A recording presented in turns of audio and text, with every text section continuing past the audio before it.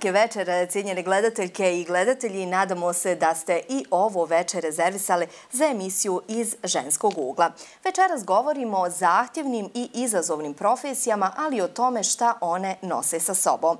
Pa ćemo upoznati nevjerovatne dame koje i tekako zaslužuju mjesto u emisiji iz ženskog ugla. No prije toga da vas podsjetimo da je e, prijatelj emisije kompanija Lactalis BH sa svojim brendom e, Dukat i proizvodnom linijom Dukat mlijeko.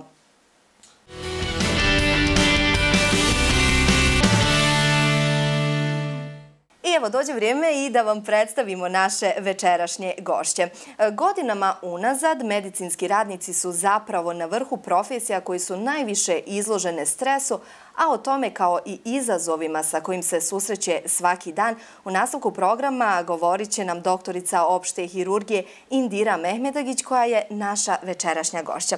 E, doktorice, lijepo vas je vidjeti u ženskom uglu. Hvala na poziv, televiziju Slon. Često sam u nekim vašim emisijama od ranije i u jednoj kuharskoj emisiji sam bila i baš se drago mi je da sam bar u ovom ženskom uglu sa divnim damama. Konačno da kažemo ste svoj nasvom da bi se reklo. Da, upravo tako. I e, pored doktorice sa nama još jedna dama e, za koju mi je, moram priznati, bilo teško pripremiti najavu s obzirom da je to dama koja je, čini mi se, osvojila sve što se osvojiti može. E, to je univerzitetska profesorica, moram dodati između ostalog, dolazi nam sa edukacijsko-rehabilitacijskog fakulteta u Tuzli, Lela Kuralić-Čišić. Dobro vam večer i dobro nam došli. Dobro večer i vama, hvala vam na pozivu i beskrajno vam hvala što pratite rad kako mene, tako i mog fakulteta i sve naše aktivnosti. U svakom momentu ste tu. Beskrajno vam hvala. Hvala vama što ste to naravno primijetili.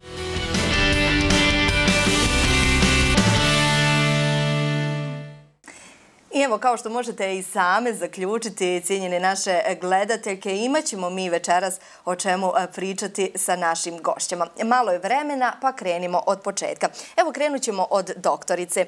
Ono što mi je bilo nekako zanimljivo e, u samom startu jeste da ste vi, e, da ste vi doktorica opšte hirurgije. Malo je danas žena hirurga.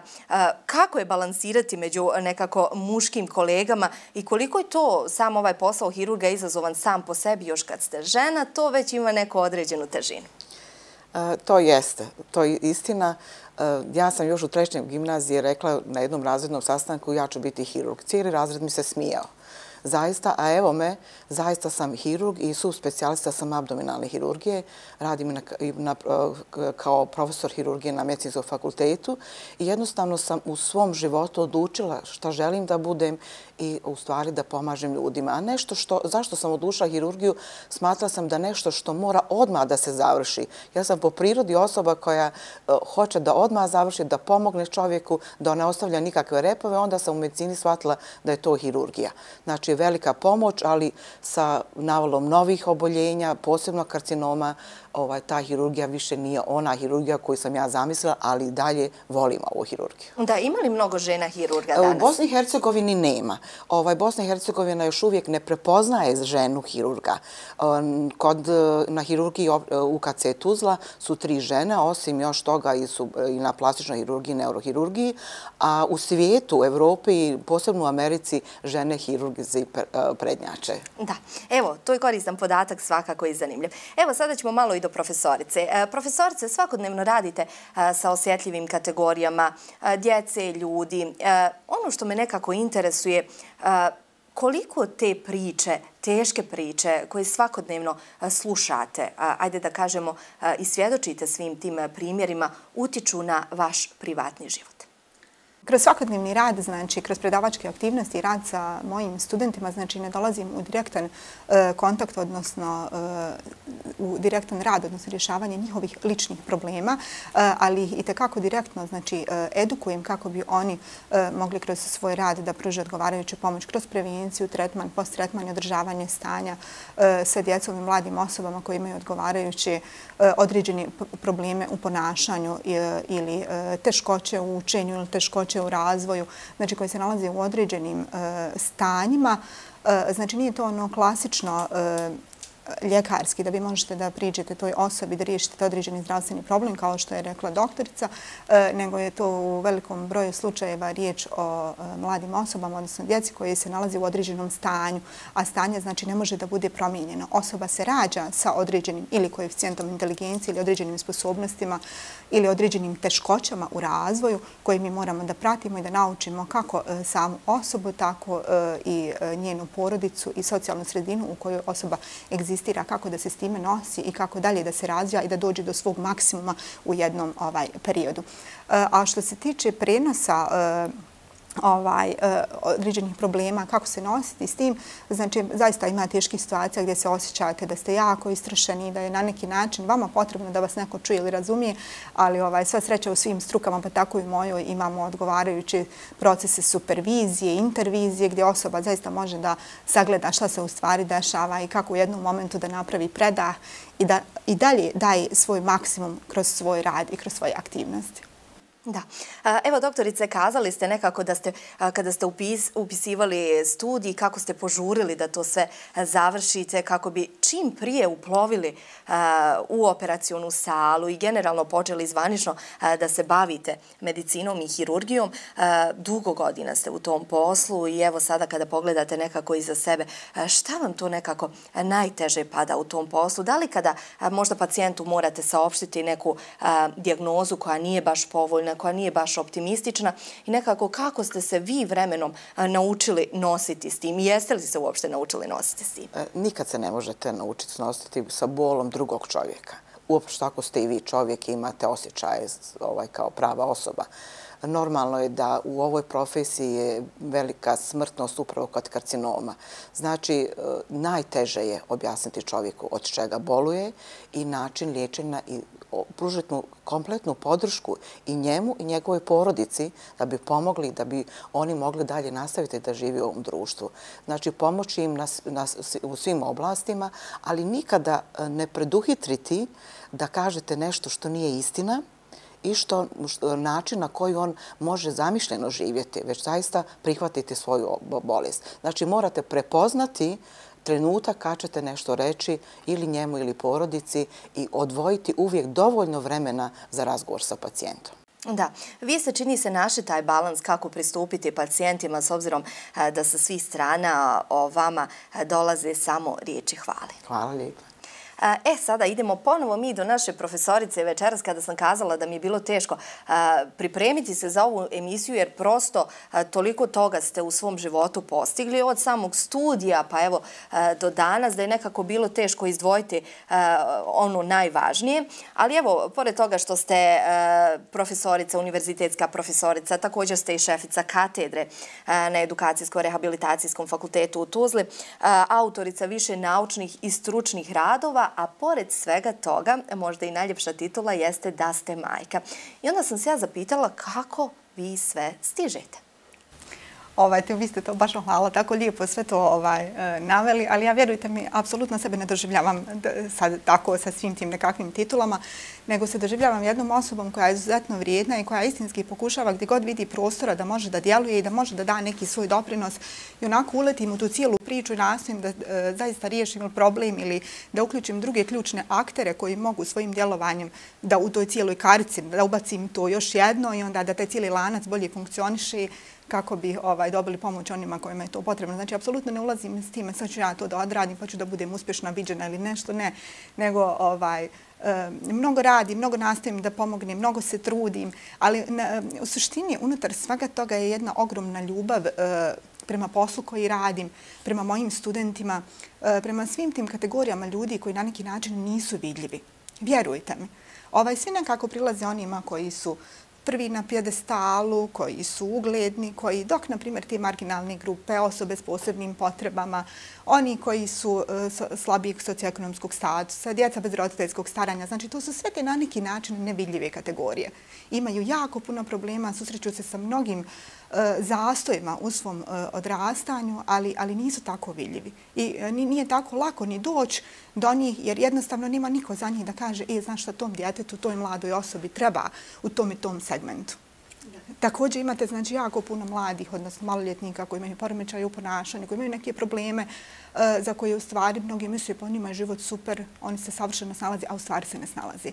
Imaju određene i internalizirane probleme kao što su anksioznost, depresija, imaju i eksternalizirane kao što su agresivna ponašanja, mada su ta eksternalizirana ponašanja daleko više vidljiva u odnosu na ova ponašanja unutar samih nas, kad u stvari nailazimo na određene probleme. I e, eh, nakon što takva e, ponašanja, odnosno probleme, egzistiraju u jednoj osobi u trajanju od dvije godine, tek onda dođe do toga da neko to vidi. Odnosno, na neki način se to ispolji pa se osoba obrati na kome za pomoć ili ne. Mnogi se i ne obrate. Mislim, imamo nekakvih, ali ne bi sad spominjala takve stvari tipa suicida, znači gdje osoba jednostavno ne može da se izbori s takvim stvarima. To su sve osobe koje su nevidljive. Ali eto, ja nekako imam tu sposobnost, mislim, dragom Allahu, hvala, mogu to osjetiti, mogu vidjeti i onda stvarno mogu djelovati u pravom momentu za razgod, možda nekog drugog koji bi nešto i učinio, ali nije, nije osjetio, u stvari nije ni vidio da postoji potreba za djelovanjem u tom momentu i na tom mjestu. Da, a to se nekako posebno izrazilo kod vas, taj osjećaj za potrebe drugih kada ste postali majka. Koliko su vam se tada prioriteti u životu promijenili? Pa znate kako, kao i svaka majka. Mislim, uh, jednostavno, tad vam se nekako sve složi, ovaj, mislim, očekivanja, vjerujem da će se i doktorica složiti sa mnom.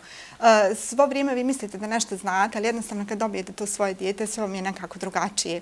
Ovaj, još smo mi imali tako na početcima, imali nekakve i zastoje, pa dok je sve to dobro prošlo, ovaj, ali je to Bog hvala sve dobro. Okice vam se cakli kada ja, pričate o tome. Ja, ja, ja. Doktorice, evo ono što će našim gledateljkama zasigurno biti zanimljivo, nekako navikli smo vas gledati u emisiji Zdravlje, kada ste govorili o nekim zdravstvenim temama i tako dalje, tako dalje, ali nikada nam niste odgovorili šta za vas znači ulazak u operacijonu salu? To je veliki izazov. Sam ulazak u operacijonu salu je takav izazov da svaki put na svakoj operaciji je nešto novo. Koliko god mi pročitali knjiga kako se nešto operiše ili ne, svaka operacija je različita jer svaki organ je različit u datom patološkom stanju nekog ovaj, oboljenja, znači oboljenja koje zbog čega pacijent dođe da se operiše. E, interesanti su slučajevi hitnog i ovaj, dolaska u bolnicu i povređivanja. Znači, za razliku od redovnih pacijenata koji su već pripremljeni i psihički da će biti operisani, da se pripreme, a onda prije, a, kod hitnih i povređenih pacijenata vi im stvarno morate objasniti u nekom stanju da će biti operisan.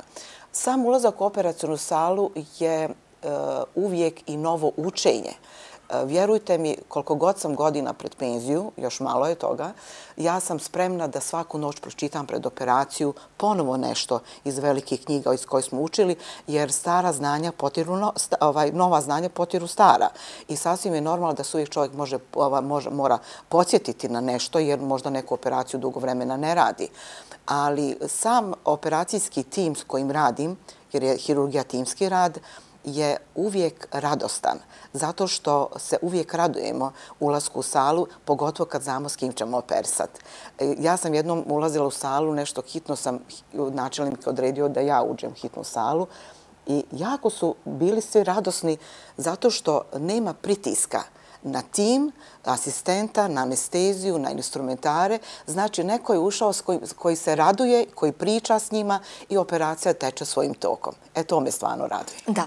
Ljudi vole da vjeruju u čuda. Evo, u svojoj dugogodišnjoj karijeri, da li ste svjedočili nekim? Da li je bilo neki pacijenata koji su možda, e, ružno je reći, ali eto, narodski rečeno, bili otpisani i onda ste i sami svjedočili čudima? Jeste. Ja stvarno to moram reći.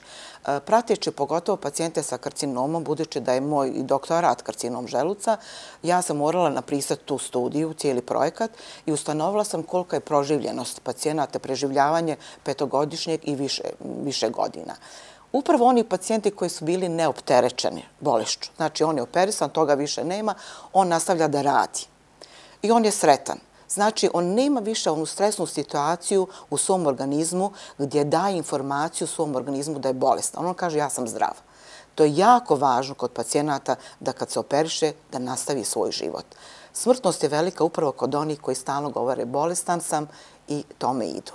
I mnoge knjige su opisale bez obzira na vjerske knjige ovaj, koje ja također čitam, e, u mnogim knjigama kao Ronde Bir, Moć, samo podsvijesti i svega, je informacija da se naš organizam mijenja svaki pet godina. Jedino se mozak ne regeneriše. To su jedine čelije. Ostale se regenerišu i upravo kakvu informaciju dajete organizmu kako je zdravlje, tako da sam ja, na primjer, imala pacijenta koji su nakon karcinoma debelog crijeva 17 godina živjeli danas ima isto, nastavili su da žive, imali su operacije neke druge, zbog srca, zbog kile, zbog e, prostate ili nečega, ali oni dalje žive. Znači, oni su jednostavno nastavili zdravo živjeti.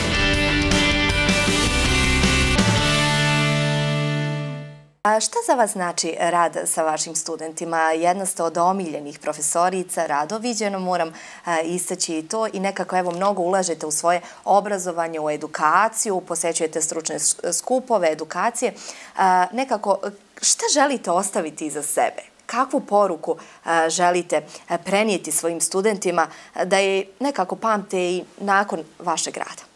E, u radu sa studentima, znači ono što ja ne preferiram i što će vam oni uvijek reći, taj klasični onaj frontalni oblik rada, ex katedra, da ja pričam, a oni samo onako slijepo da slušaju, zapisuju i da misle da sam ja najpametnija. Ono što mi je ključno u radu s njima je da ih u stvari naučim da e, budu kreativni, da razmišljaju svojom glavom. U stvari nekako je to po meni glavna karakteristika akademskog građanina, je razvijanje vlastitog mišljenja. I apsolutno ne moraju da se slažu sa mnom. Znači, zna se da se da ja pričam pola sata i onda njima kažem kakva su vam pitanja, šta vi mislite o tome i onda nastojim da izvučem iz njih da mi se suprotstave i da mi navedu argumente zašto to što ja kažem, što ja mislim ili što sam parafrazirala neke autore koji su dojeni u struci, da mi kažu to nije odgovarajuće. Mi mislimo da u novim uslovima u kojima mi živimo, s obzirom na situaciju u kojoj živimo, s obzirom na prilagodbe koje moramo da napravimo, na primjer ako je u pitanju određeni preventivni projekat i određene intervencije, znači nije isto što se radi u Norveškoj i u Bosni i Hercegovini, znači nisu nam istini problemi. Ovaj, I ukoliko oni tako ustanu i meni kažu, znate šta mislimo da bi bilo bolje da inkorporirate to u to ili ovo ili ono. Znači, pojenta je da mi je cilj u tome e, da razvijam njihovu kreativnost, da razvijam njihov intelekt i ono što je najvažnije, da razvijam njihovo samopouzdanje. Jer jako je puno mladih ljudi, naših studenta, koji imaju e, takve sposobnosti, nevjerovatne, a koji e, apsolutno nemaju e, sposobnost, odnosno želju, nemaju snagu da ustanu i da to izraze. I oni će tako da čute jednu godinu, drugu godinu, treću, sve onako... I da guši svoj talent. Tako je. I od nekakvog straha kao oni ne znaju. I da će oni da budu kako to oni da kažu, ja ću da se provalim ako to nešto kažem, bolje mi je da čutim. I mi jednostavno živimo u takvom okruženju gdje e, se mladi ljudi odgajaju u takvom duhu. Čuti. Šta ti kaže stari radi? Daleko od toga znači iskustvo, znanja, kvaliteti osoba koji su starije, evo na primjer doktorica, znači to je nemjerljivo. Nijedne knjige to ne mogu opisati, znači ono što jednoj osobi da određeno iskustvo. Ali mladim ljudima koji nose u sebi snagu da promijene svijet, mi moramo dati priliku, a mi to ne dajemo. Od samog, znači, uh, ulaska na fakultet, na prvu godinu ja se svojim studentima obraćam kao kolega. Ja im se uopšte ne obraćam kao nekoj djeci, ja ih persiram, mislim, uz obavezu da ih persiram, ali znači ja ih tokom cijelog studija nazivam kolege, a nisam u obavezi. Znači, tek nakon završitog studija na drugom i trećem ciklusu imam pravo da to radim. Ali, znači, pristupam s nekakvim poštovanjem i nastojim kod svih njih, i njima to kažem kad radimo s djecom i mladima. Znači, mnogo je lakše ako nastojimo da riješimo neki, s obzirom da sam ja sa katedre poremećaju ponašanju, mnogo je lakše prevenirati negativne obrazce ponašanja tako što pronađemo u nekome ono što je zlatno, ono što je dobro. I onda šireći to što je dobro kod jedne osobe, mi automatski smanjujemo sve to što je negativno. A ako u startu pristupimo i kažemo kod tebe ne valja to, to, to, to, to i mi moramo da radimo na tome da to sklonimo, mi smo u startu tu osobu uništili. Ispustili je onako na neki nivo gdje je u stvari prvo potrebno da prođemo sad jedan period osnaživanja socioemocionalnih kompetencija da bi ona došla u stanje da bi se mogla da diže na dalje nivoje. Znači, mnogo nam je bolje ako je naš pristup takav da u svakome pokušavamo da nađemo nešto što je dobro. A mislim, svi imamo kod sebe dobre stvari. I dajete vjetar u leđa svojim tako studentima. Je, tako je. I zaista, e, kroz određeni period, kroz par mjeseci, kroz godinu ili nešto, vi vidite kako oni sami počinju da radi, kako ulaze u nekakve aktivnosti, onda kažu, je profesorca, hoćete i vi u to, vi, vi ste nam kao profesor, pa pozvaćemo još kolegicu, pa ćemo se uključiti dalje. I to su zaista aktivnosti koje su djelotvorne, od kojih neko vidi korist.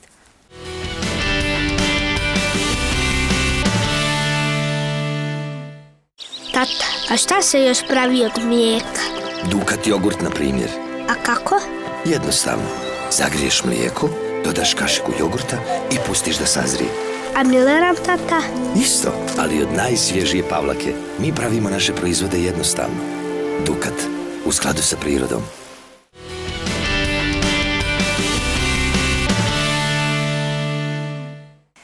Pratite vi, cijenjene gledateljke, i dalje emisiju iz ženskog ugla. Dvije sjajne dame večera su u našem društvu.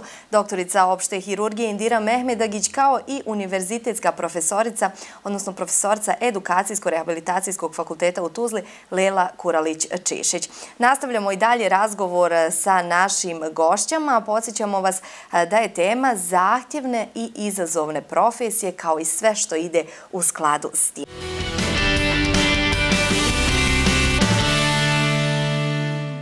E, ono što nisam mogla a ne primijetiti, e, jeste da ste uprkos dugogodišnjem radu e, u zdravstvu ipak uspjeli zadržati taj optimizam, taj neki, ajde da kažemo, vedar duh, pa me interesuje, evo navela sam na početku ovog razgovora da su medicinski i zdravstveni radnici nekako u samom vrhu profesija koji su najviše izložene stresu. Kako se vi relaksirate? Kako pronalazite sreću u svakom danu? Svaki čovjek mora naći neki moment kad se mora relaksirati upravo kad dođe kući. A za mene je stvarno grupa ljudi s kojima se ja družim, nas je negdje oko dvadesetak, i jako mnogo putujemo. Obišli smo gotovo cijeli svijet i ono što zimske periode mene čini je knjiga. I danas dan volim pročitati knjigu i mogu da kažem svaku platu koju dobijem, prvo idem da kupim knjigu i ovaj, želim da je pročitam, onda je proslijedim u Kanadu mojim rođacima, moje sestri i njenoj djeci, u stvari da jednostavno čuvaju naš jezik, bosanski, bošnački jezik, da jednostavno zaživi u tim zemljama, da se održi. Nekako imam tu viziju da, da pomažem i tamo sa tim knjigama. A ovdje svaka knjiga je nešto što je u stvari kao proživljen drugi život i stalno trčite da, da idete iz stranice u stranicu da živite još jedan život. Mislim da mnogi moraju to raditi i volim pogledati dobar film nekad pogledam neki film i dva puta. Onda me sestra uvijek pita, a zašto gledaš drugi put? Kažem ja, pa da vidim jastuščiće, da vidim e, ležaj, da vidim boju zida. Jednostavno onda gledam detalje. Uvijek gledate prvi put neku, ovaj, neki film da vidite radnju, a onda vas čini taj film sretnim, opuštenim i onda se odlučite ponovo ga pogledate. Eto, to je nekako nešto u mom životu što ja volim. E, to je zanimljivo čuti i to je nekako dobra ideja i za sve nas koji radimo stresan posao e, kako se relaksirati. A evo, kroz razgovor sa vama primijetila sam da svojim djelovanjem želite, koliko je to naravno u vašoj mogućnosti, doprinijeti nekim pozitivnim promjenama u društvu. Koliko nam danas fali elana? Da kao individua djelujemo. Evo, malo čas ste kazali da nekako imate mnogo talentovane djece, studenta koji se ustručavaju da pokažu taj talent, plašajući se osude okoline. Možda bi društvo bilo mnogo bolje kada bismo se svi usudili iznijeti ono najbolje iz sebe. Ali je stvar u tome da je iako je osoba puna entuzijazma i krene sa nekakvom motivacijom ogromnom, pogotovo ako je riječ o početnicima, vrlo često se zna desiti da nailazi na određene probleme e, koji u stvari osobu na kraju dovedu do jedne pesimistične individue koja je ljuta, koja je isfrustrirana, koja nije zadovoljila svoje potrebe i onako pretvara se u nekakvo gunđalo i kaže ništa ne može, ništa ne djeluje, ide po onim niče ovim fazonima i ulazi u nihilizam totalni. Ovaj, ali generalno gledano na području naše zemlje nemate dovoljno motivacije. E, svi nekako misli da ako izađu tek odavdje mogu nešto da naprave od sebe, da se ostvari. U ovom području nekako, da li, da li neki problem imamo? Da li sad osoba osjeća da neće dovoljno biti samo aktualizirana, da neće biti dovoljno svačena? U stvari unaprijed odustaje od toga, nadajući se da, vjerujući da ona neće da uspije. Bez nade Mislim, ono što bi stvarno trebalo da se uradi jeste da se da mladim ljudima prilika e, da se ostvare, da djeluju na području na kome jesu i da ih ne sputavamo. Mi imamo situaciju da u domovima za porodičnom ručku ako vidite više članova porodice i ako mlada osoba nešto pokušava da kaže, onda će dvije, tri starije osobe reći, aj ti ba, mislim, sine, sad čekaj malo da ti odrastiš, ti ne znaš kakva je situacija. A u stvari, ako vi malo bolje pogledate, vidjet ćete da je ta ideja bila bolja nego od ove osobe koja je starija, ali ona to u startu presjeća. I vi to uradite jednom, dva put, vi ćete osoba odlazi, mislim, nema više nikakvu volju ni da se povezuje sa tom svojom porodicom, pa onda ako imamo situaciju da je došlo do nepovezanosti sa odgojno-obrazovnom institucijom, a i odgojno-obrazovne institucije već odavno više nisu odgojne, samo su obrazovni, a i to u smanjenom obimu, s obzirom na količinu stručnog kadra koji je mali, I tu znači na osnovu sistematizacije radnih mjesta trebalo bi da se proširi stručni timovi kako bi se moglo tim mladim ljudima da se pruži e, podrška na svim poljima gdje im je to potrebno. Sve su to nekakve stvari znači gdje bi moglo e, dosta toga da se da. Ali generalno mislim da to ne trebamo ugušiti, da trebamo gdje god je moguće kod mladih osoba dizati taj entuzijazam i tu nekakvu vjeru u budućnost i da oni mogu zaista da utiču, mislim, Mislim, i ko će drugi ako neće oni studenti pravi revolucije svugdje na svijetu? I uvijek je tako bilo. Mnogo pitanja i tema ste otvorili u večerašnjem razgovoru i evo drago mi je što, što smo otvorili e, te teme kako bi javnost ušla malo u srž tog obrazovnog sistema i nadamo se vaše studentice i studente da bi izvukli neke ideje upravo iz ovog večerašnjeg razgovora i lijepog druženja. A šta je to što motiviše uspješne žene? Postoji li neki životni moto koji vam je bio vjetar u leđa tokom vašeg života? Evo, ćemo li od doktorice krenuti? Pa za mene životni moto je pusti i pusti druge da žive. U stvari, kad, kad imate problem, e, najvažnije je da vidite da li je on e, rješiv. Ako je ne rješiv, jednostavno ga pustiti. Ako je rješiv, on se sam rješava. Imala sam priliku da u Kanadi upoznam psihijatra jednog koji mi je pričali smo na, nekom, ovaj, na nekoj večeri i rekao mi je, e, kad je čuo da sam hirurg, rekao, pa kako se nosite sa svim, kako sebi pomažete? Pomažem drugim, ali kako sebi? Kažem ja, dobro, ja dođem kući možda i nasikirana i razmišljam o nečem šta će se desiti, šta, kakav je pacijent. Ne samo o pacijentu, svaki čovjek ima svoje životne probleme.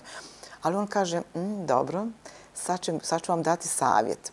On je rekao, evo, danas je utorak i stavite sve na papir što vam je sad nekako kao problem. Od plaćanja, plaćanja računa, e, tegobe te gobe koje imate, šta morate, jer čovjek kaže moram, ne mora. Čo, vidite kako je ljepše reći trebao bih, trebala bih, ne moram. Znači, sve to stavite na jedan papir i apsolutno taj papir nemoj gledati i ništa raditi do sljedećeg utorka. I zaista to uradim. Sljedećeg utorka kad sam pogledala, pa vidi, račune sam, su se sami platili, usput sam nešto plaćala. A ovo, pa ovo nikad neće ni doći na tapet, samo se završilo. Pa ovo više nije taj problem. A išće za uzrak. Mislim, tog trenutka čovjek misli da je to nešto strašno. Znači, vrijeme je to koje može pomerći čovjeku i samo pozitivno razmišljati. Znači, taj moto je samo pozitivno razmišljanje. E, da čujemo i vas. ovaj, pa, s obzirom na naš ženski spol, ovaj, koji koliko god mi govorili onako nije na valima, zaista situacija gdje, gdje vas onako malo zaustavi. Ili, ali šta, šta je to u stvari taj najveći vjetar od leđa? U mom slučaju je u stvari e, porodica i u stvari je to da nikad ništa nisam morala. Ovo će vam stvarno mnogo čudno zvučati, ali e, ne potičem iz porodice gdje mi je rečeno ono, znate, sa dvije godine ti moraš da budeš doktor nauka a mislim, jedan sam od najmlađih doktora nauka u našoj državi, mislim, čak u mojoj profesiji sam najmlađa. Ovaj, sve je nekako bilo, ako ti smatraš da je to okej za tebe i ako nalaziš zadovoljstvo u tome i ako možeš naći vremena, ti se time bavi, ti to radi. Mislim, znala sam ja negdje u zraku da ja to moram, razumijete? Ali nikad ništa nije bilo pod moranje. I to je nešto s obzirom na moju e, uh, ličnost, s obzirom na moj temperament, kakva sam rođena i karakter, s kakvim sam kasnije odrastala i kakav je izgrađen, je mene mnogo značilo. Znači, to da sam ja mogla da djelujem i da radim u stvari ono što volim. I tako sam se pronašla eh, i, i mogla eh, zaista da dam taj svoj maksimum. Jer znači nije bilo onako, ako ne uradiš to i to, snosit ćeš određene sankcije, bit ćeš kažnjena, do tad i tad moraš to da uradiš, inače nećeš raditi, pa sad ne, ne, gdje ću biti nešto uskraćena. E, nisam to imala. I to mi je u stvari bila ta najjača snaga. Ja u stvari cijeli svoj život živim tako. I uhvatim se nečega što mi je drago i apsolutno se dam u to. I onda kad vidim da više maksimalno nemam ni snage, da ne spavam, da, ali ja ne mogu to da pustim. Ne znam šta me drži, ali ja to izguram na kraj, do kraja, apsolutno. Da, i upravo zbog tog nemoranja ste uspjeli Tako da je, razvijete da. ljubav sa sobom i sa drugima. Tako je. Lijepo je to čuti. Ostanite još malo sa nama, imamo neko malo iznenađenje za vas.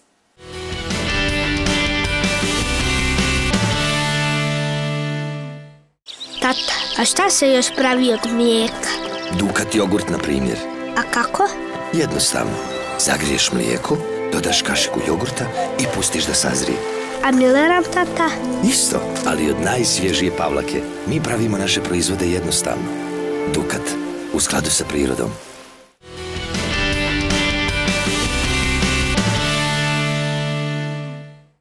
Podsjećamo vas još jednom e, da je prijatelj emisije iz ženskog ugla kompanija Lactalis BH sa svojim brendom Dukat i proizvodnom linijom Dukat mlijeko. Dukat svježe mlijeko, da li ste znali, odlikuje e, bogat i nezamjenjiv okus koji otkriva svu njegovu svježinu. Kao prirodan izvor kalcija nužnog za izgradnju i jačanje kostiju u samo tri čaše osigurava vašu dnevnu porciju zdravlja. Zahvaljujući vrhunskoj kvaliteti, Dukat svježe mlijeko odlikovano je prestižnim znakom Hrvatska kvaliteta.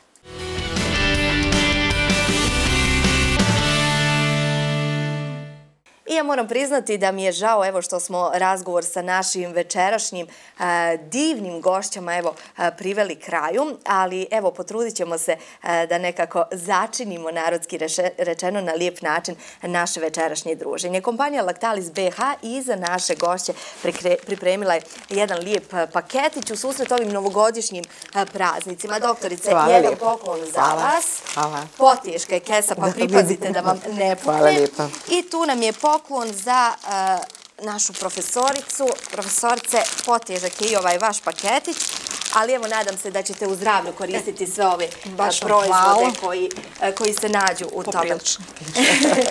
Meni ostaje na kraju ovog razgovora samo još da vam se zahvalim na izdvojenom vremenu i nadam se evo da ćemo se sresti u novoj 2020. godini i da ćemo nekako imati mnogo pozitivnih priča podijeliti sa našim gledateljkama, kako iz oblasti zdravstva, tako i iz oblasti obrazovanja.